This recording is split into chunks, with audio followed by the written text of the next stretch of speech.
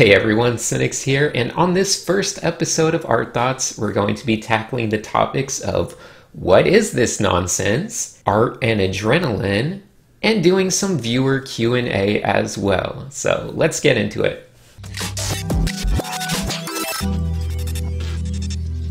So, what is this? Why am I doing yet another new series when I haven't even reached the season finale of Anatomy Quick Tips? Well, in short, it's going to be a collection of smaller topics related to art that wouldn't necessarily fill a full video, but I wanted to talk about anyway. So each of these videos will feature two or three mini topics and also answer some questions from the audience as well. Now I can finally start sorting through the huge backlog of video ideas I have. They'll be sometimes silly, sometimes serious, sometimes just chaotic. Uh, but it's gonna be a lot of fun, just everything thrown in. Also, I'm just going to assume there's probably like a hundred other video series out there called Art Thoughts. Uh, maybe not, but uh, yeah, I'm not trying to brand it or anything. Anyone can do art thoughts. Uh, I just wanted to call it what they are art thoughts. And just like that, we are done with the first topic. So let's move on. At Topic number two art and adrenaline.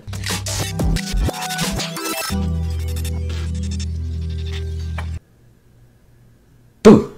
If you watch a lot of my videos, you may know about my obsession with many aspects of design theory, and specifically my focus on the importance of both visual library as well as intuition in the whole process. To that end, I wanted to talk about adrenaline, and before all the sciencey people in the comments freak out on me, I'm going to use adrenaline to refer to the range of stress-induced emotional chemical reactions uh, that occur in high adrenaline situations. So, have you ever been in a car accident?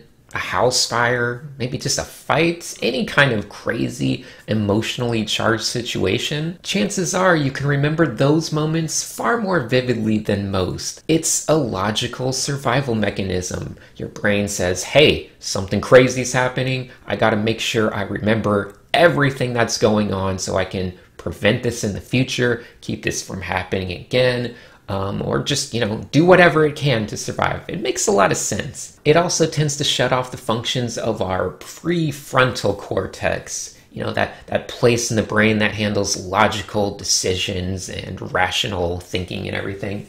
Instead, we get stuck in that frantic, just act without thinking mode, kind of like fight or flight.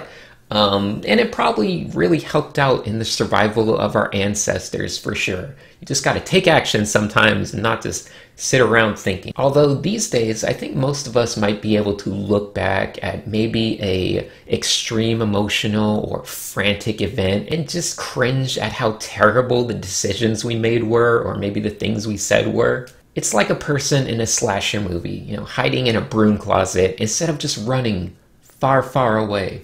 That always seemed funny, but it's actually way more accurate than you think. And of course, two adrenaline filled people interacting with each other usually just leads to an escalation spiral of zero prefrontal cognition and just lots of horrible outcomes. But that's a whole other topic, I guess. So, what does all of this have to do with art? Well, there are usually one of two main objectives we have when we're doing art. One of them is to store information, like when we're doing a study, and the other one is to design or create something interesting. And those are happening at different times. Knowing what we know, if we had to compare adrenaline's effect on the body to uh, something something else like a computer, it would be like having a lot of adrenaline puts your computery brain into write only mode. When you have a lot of adrenaline, all it's doing is storing stuff, not really doing much processing of older useful information. Inversely, having very low adrenaline in your body seems to set it to read only mode,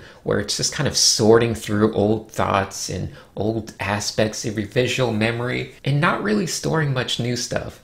That's why when we go to sleep, we usually have crazy dreams that are just pulling on all sorts of weird things in our brain, but for the most part, we can't remember them unless something really intense happens that maybe spikes your adrenaline or causes you to wake up.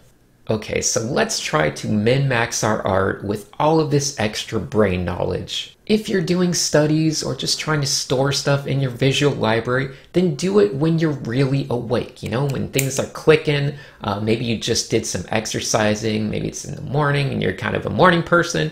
Um, whatever it may be, get your heartbeat up, get things energetic, and you'll tend to store things in your visual memory a lot better. Conversely, if you're doing thumbnails or just trying to design crazy fun stuff, it's okay to fully mellow out. Just put on some tunes, do it when you're lying in bed, just do whatever. Find your zen like low stress mode and let your brain just pull up all the weird thoughts and ideas and visual library information that it's stored. There you go, art brain hacks. I think that's about it for the adrenaline stuff for now. Hopefully, it might just give you some new insights on all sorts of everyday things. Hmm, does Sinix make that horrible loud static sound at the start of every video just to make me remember them more? Should I keep a Loomis book in the car, just in case I'm ever in a car accident? Can I win most arguments in life by just affecting the adrenaline levels of the person I'm arguing with? Short circuiting their prefrontal cortex? Oh, probably, but that's not art, so let's move on. You know what? Let's actually try a quick ad. That might be fun and new. I guess we'll find out. You all know how much I stress the importance of your visual library. Well, one of the best ways to expand your visual library is by traveling to new places. Unfortunately, with all this uh, pandemic stuff going around, uh, there's not much traveling going on. But even if we're stuck in one spot, that doesn't mean our computer has to be. With Surfshark VPN, my computer's IP can travel all over the world. And why is that useful? Well, you might have watched everything you can on good old US Netflix. But have you tried ye old British Netflix? Sorry, that was almost an accent. I was getting a little too excited. But I watched Nausicaa day one on this VPN, which is available in the UK, and it was delightful. All of those Studio Ghibli movies, they're all there. Not in America, but certainly overseas. I also hopped on Japanese Netflix because they have Shin Godzilla on there, and that movie is awesome. Sadly, they might not have subtitles for all of the really obscure stuff uh, such as my personal favorite, Female Prisoner Scorpion, which, but you don't gotta look that up. You know, just know that it's a good movie. You can still watch it um, on Netflix in Japan. Um, maybe you won't understand what's going on, but I'm sure you can kind of figure it out. It's great. It's a great cult classic. Yes, it's shameless, but I love grindhouse style movies. Anyway, when this video is over, I'm going to get back to watching Always Sunny in Philadelphia because that is also on foreign Netflix. Um, and if you would like to try it out, you can check out Surfshark VPN at surfshark.deals slash Sinix and use the promo code Sinix for an 83% discount and three extra months. Look at me, I'm a little advertiser. And of course, VPNs are also great for security concerns and traveling around once once that becomes a thing again, hopefully. All right, well, that was pretty fun. So thanks Surfshark and the links are down below. I think it's time for some viewer questions and answers. And these first ones were just taken from the Patreon Discord, but in the future, you can always write your questions. Maybe they're interesting and weird. Uh, write them in the comments below for future episodes. First question is by Yerns. If you want to build your own world, where do you get started? Well, building a fun and unique world is a lot like writing an interesting character. Every character should be defined by their flaws, not their strengths. This is what will make them consistent and endearing. So, a world should really start with a scenario that provides a lot of unique limitations. Uh, after that, you can go and look at the biome and the technology level. And when you combine all those things, it's usually enough limitations for a lot of the characters, environments, props, and creatures to kind of write themselves. So, really start by just doing brainstorming and write out the limitations of the world in terms of technology, biome, and just scenario. Uh, maybe it's an all water planet, maybe it's like in the sky somehow, but it's falling down and sinking. Um, there's there's so many crazy things you can come up with. Um, even if just you want to make the trees blue, maybe you can make that related to the atmosphere and some kind of chemical reaction that's going on. Just find limitations and really focus in on those because that is where you will get the best stuff. Next question. Corey asks, What is your visualization process like? Do you see prior to drawing or do you find the final piece as you progress? How has that developed over the years? Well, I definitely don't see something specific prior to drawing, and even if I could, I wouldn't really want to.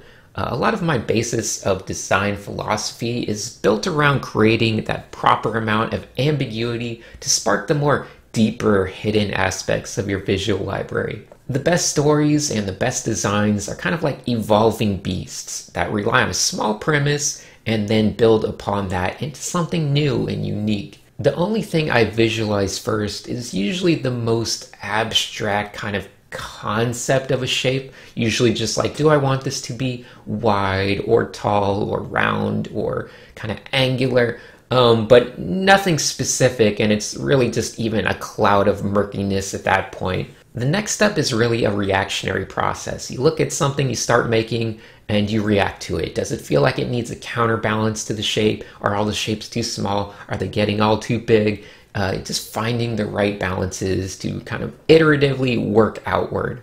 And once you get some loose energy on the page, you just look into it and try to discover something new. I think the main way this has changed over the years was when I was younger and starting out, I thought the goal was to be able to visualize things first, and that would be awesome. Uh, but now I've really embraced the fact that it's more fun to not know where it's going and embrace that that just creative process and enjoy the journey a lot more than the destination. Okay, one last question. Zephyr asks, Skottie Young of Marvel Comics says that style is a collection of mistakes you've collected throughout the years while you incorporate different elements from various artists that influence you. What are your thoughts on developing a style and so on? Yeah, I would say that combined influences of your idolized artists is always the biggest factor, and mistakes you picked up along the way certainly factors into. Uh, but one other thing that really factors in a lot is just your choice of tools. Did you pick up a pen or a pencil early on?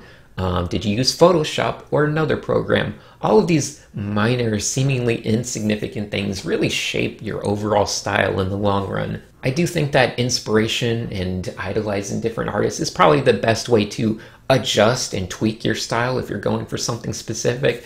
Uh, but personally, I'm not really trying to have style. At least I never was. Now I have a style, and you know it's it was news to me because I didn't plan to have a style. I didn't want a style. Um, yet I very clearly do have a style, and it developed over time without my input. And I feel like that's the way things should be. It should just kind of come out of whatever natural progress of events.